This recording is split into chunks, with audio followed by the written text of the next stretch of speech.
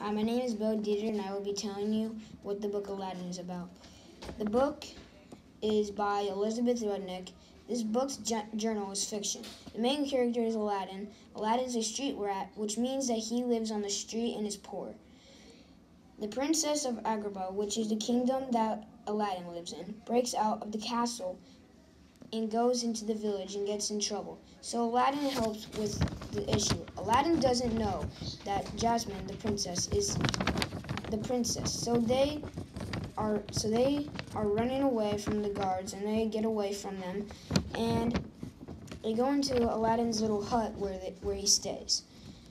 And he tries to get into the castle and return something that he accidentally stole from Jasmine but he got caught by Jafar, which is the Sultan's visor.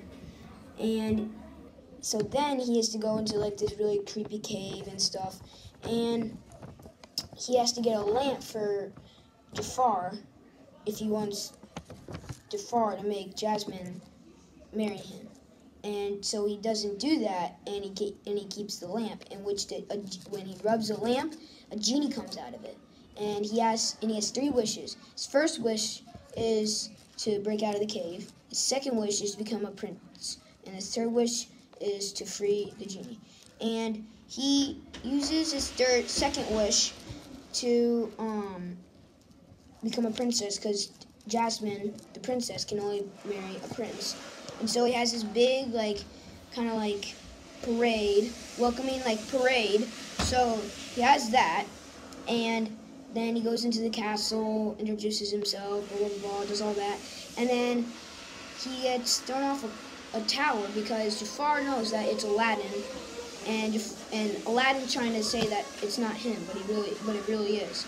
So he gets thrown off the cliff, nearly dies, come back, come back, and so Jafar, when he gets back, is putting a spell on the Sultan, which is Jasmine's father. So Jasmine and um, Aladdin notice, so they break Jafar's staff that he was using to put a curse on the Sultan.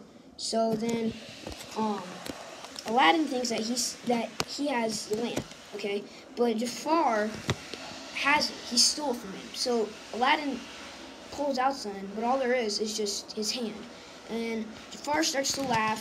he pulls out the lamp. he asks for three wishes. One of them is to rule the world. Second one is to put a curse on Agrabah.